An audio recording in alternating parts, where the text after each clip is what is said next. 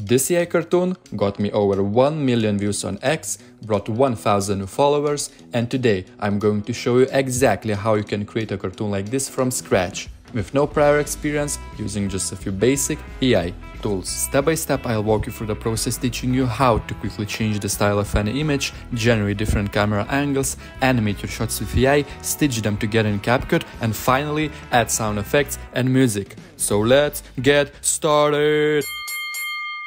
Okay, so the first thing you need to come up with is a list of ideas. And you might ask me, what's an idea?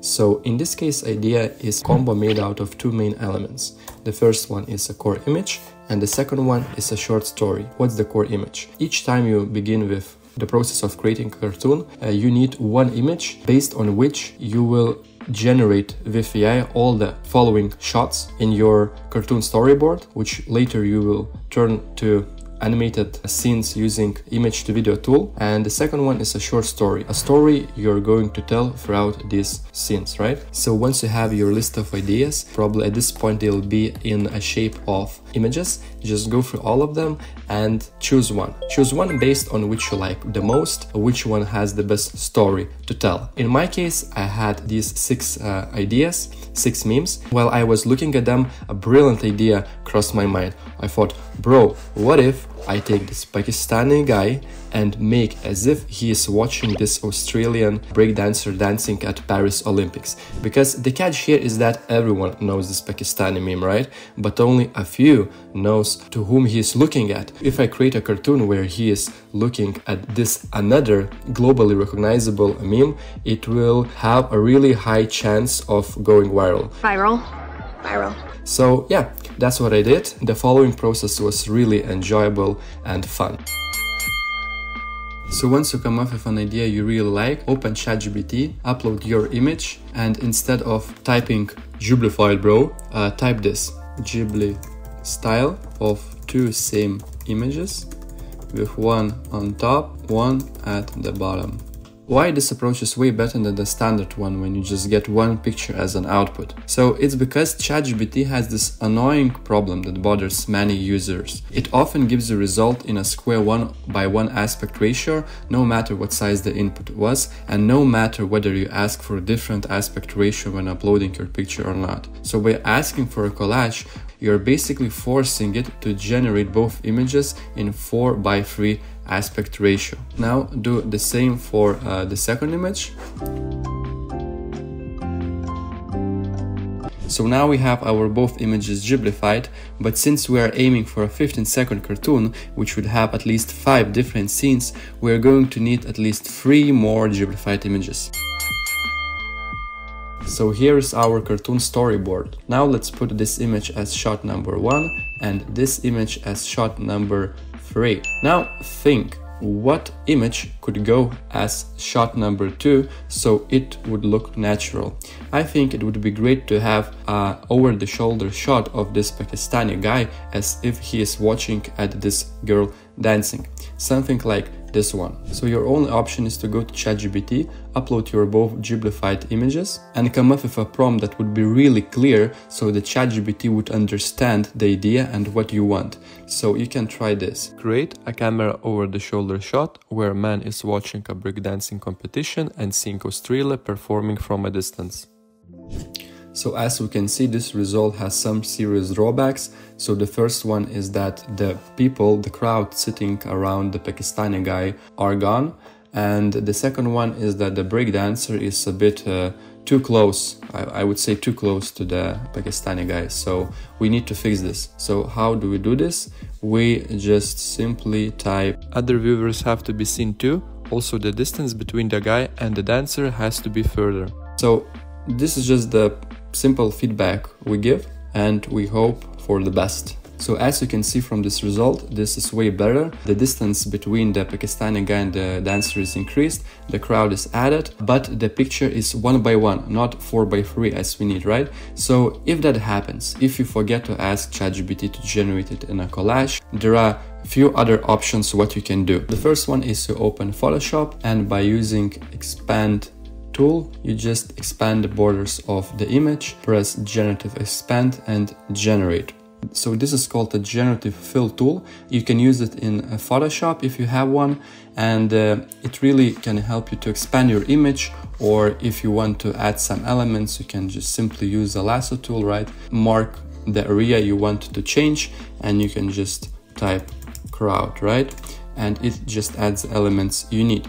So the second option is to go to freepik.com press here on edit upload your image and then press here resize 4 by 3 as you can see the canvas turned to 4 by 3 aspect ratio and then you can just leave this blank just press expand and freepik.com will give you free results.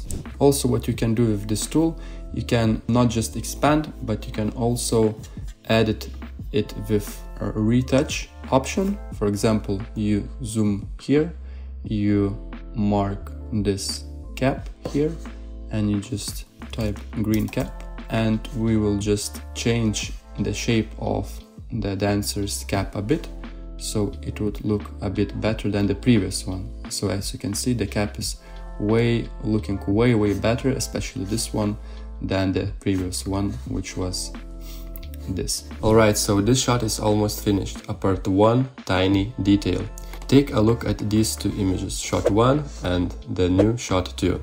The hand position in these images is different. Here he is holding his hands by his sides and here the position is different. Even though it's a small detail, we need to make sure that our scenes are consistent, not just in style but also in the how the objects and characters look like. Okay nice, so now we have half of our storyboard. Let's put this image right here and let's go through all of it. So our main meme image goes as the first shot, then over the shoulder shot of Pakistani guy looking at Australian dancer, and then the full shot of the Australian girl dancing. Now we need to add some storytelling, a little twist to the story. The funnier, sillier or more unexpected it is, the better. So I thought, okay, this guy is really annoyed by what he's seeing, so he must do something that would reflect that. Ideas that came into my head were three. First, he's leaving a stadium. Second, he is making a facepalm. And the third, he starts vomiting. This one seemed, you know, the most funny for me, so I decided to go with it.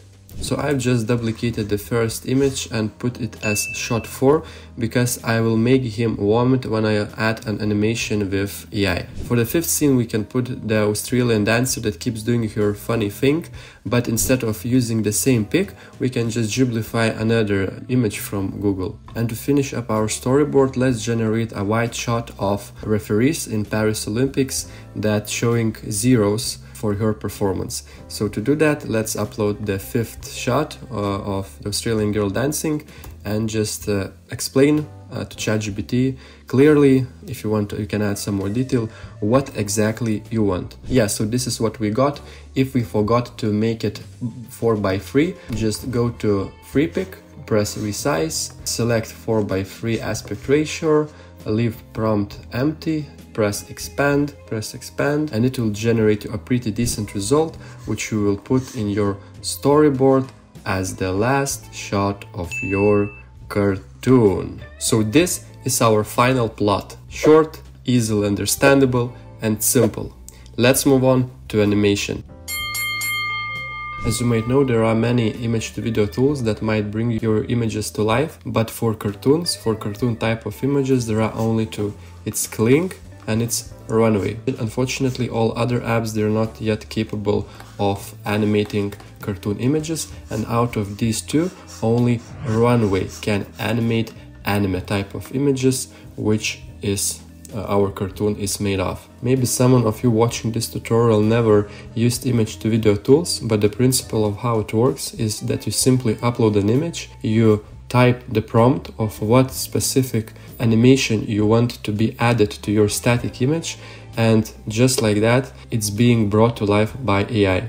Though as the tech is still early most of the times the animation is really off but the better your prompts are and the more you practice the better results you can get. Now let's open Runway website, get started, generate video and now I'll upload the first image from our cartoon storyboard and type a prompt which will be man does a facepalm very disappointed and I'll press generate few times So I got some lame results, but I also got some good results. For example, like this one or this one. So I'll choose this one and then I'll download it. We'll open a CapCut, put it right here and let's see how does it look like. Yeah, so we have a consistency issue, which is character pose consistency. As you can see, his hand position is one hand on his forehead and another by his side, but in the shot number two, both his hands are on his side. So, well, we need to fix it, right? So what we can do in this situation, we can trim this video like this. Then we will reverse it by pressing this button. And now the first shot of our video became the last shot. So it starts like this. His hand goes by his side and then the first shot looks like this. So there are no consistency issues anymore. Great, so now let's animate the second shot. Let's upload the second image from our storyboard. Let's write man watches a woman who is dancing very awkwardly. I press generate and almost immediately got this perfect shot. Then I place it to CapCut and I already have third of my cartoon animated. For the third scene I've used almost the same prompt I used for the second one. And I got these two shots. As you can see, both of them are off. And the problem is that with these image to video tools, uh, there's this problem that when you're working on scenes that are really fast paced, like car chase, people dancing, or boxing, right? When they're like something is moving really fast, it gets hard for software to create frames correctly, so it makes the motion look choppy and unnatural. So to make this static image to be animated in a right way, I just added words that she is dancing very slowly, not just awkwardly. That's the result, way, way better. Okay, let's download it and put it to CapCut. Trim a bit, and now we have our third scene animated. So we already have three scenes, we are halfway through. This fourth scene was the best and the most fun one to make because I just put prompt man starts vomiting and from the first try I got this scene and when I posted the full video on X people got questions about this specific scene. For the fifth one I need something that would imply that Fee is done with her performance so I typed girl finish her dancing moves and got this scene. For the last scene I needed a video where judges lift up their uh, cardboards with zeros but as I already had this static image where cardboards are up I just typed a prompt judges put the cardboards down. So I'll just reverse this video and instead of lifting them up, they will put them down. Easy. And then I upload everything to CapCut and now I have all my shots, a cast storyboard, animated. Let's watch it before uploading it on X. Dangerous! Oh, he said, look at you! Wow!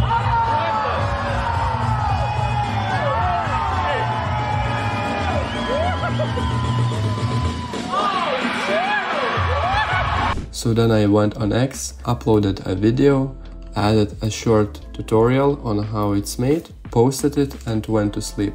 And next morning I wake up and it's 300 new followers, 2000 likes and 200,000 impressions, but by the end of the day I finished with almost 8000 likes, 1000 new followers and more than million impressions.